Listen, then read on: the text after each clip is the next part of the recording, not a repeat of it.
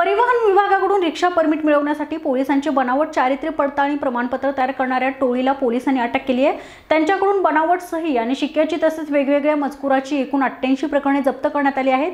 पोलिसांनी या टोळीकडून एकूण अठरा लाख रुपयांचा ऐवज जप्त केला आहे. पिंपरी चिंचवड आयुक्तालयातील चारित्र्य पडताळणी विभागाचे पोलीस निरीक्षक सुनील पिंजन यांना रिक्षा परमिटसाठी लागणारे पोलिसांचं चारित्र्य पडताळणी प्रमाणपत्र मिळालं. त्यावरून पिंपरी चिंचवड आरटीओ येथे काही जण स्वयंघोषित एजंट म्हणून काम करत असून ते पोलिसांचे बनावट चारित्र्य पडताळणी प्रमाणपत्र देत आहेत अशी खात्रीशीर माहिती त्यांना मिळाली. एजंटच्या स्वयंघोषित टोळीने पोलीस निरीक्षक सुनील पिंजन यांची बनावट सही आणि पोलीस आयुक्तालयाच्या बनावट शिक्का तयार केला आहे. त्याद्वारे ते बनावट कागदपत्रे तयार करून रिक्षा परमिटसाठी त्याचा वापर करतायत. या बदल्यात एका परमिट धारकाकडून पंधरा हजार ते ऐंशी हजार रुपयांपर्यंत ही टोळी पैसे उकळत आहे.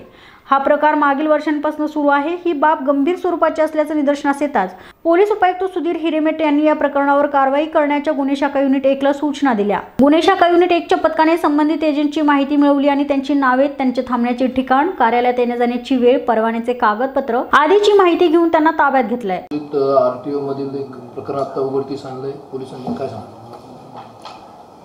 पिंपरी चिंचवड येथील आर टी ओ कार्यालयामध्ये काही लोक काही एजंट लोक पोलीस निरीक्षक पारपत्र विभाग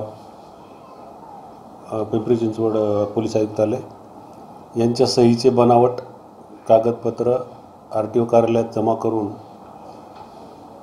रिक्षा परमिट मिळवत असल्याबद्दलची माहिती या कार्यालयाला प्राप्त झालेली होती. त्याच्यावर गुन्हे शाखा युनिट एकच्या वतीने चौकशी करण्यात आली. त्या चौकशीमध्ये तो प्रकार खरा असल्याचं आढळून आलं आणि या सर्व प्रकारामध्ये आत्तापर्यंत नऊ आरोपी असल्याचं निष्पन्न झालेलं आहे. त्याच्यामध्ये जवळजवळ अठ्ठ्याऐंशी प्रपोजल्स आम्ही जप्त केलेले आहेत ज्याच्यामध्ये खोट्या सहीचे खोट्या सहीचे खोट्या सहीचे आणि खोट्या शिक्क्याचे प्रमाणपत्र त्या प्रकरणामध्ये लावलेले आढळलेलं आहे. आता अधिकचा तपास करून असे किती प्रकारे किती प्रकारचे प्रमाणपत्र त्यांनी बोगस बनवलेले आहेत त्याचबरोबर असे किती प्रकरणामध्ये बनावट कागदपत्र आर टी ओ कार्यालयात दिलेली आहे याच्याबद्दलचे तपास पोलीस करत आहेत.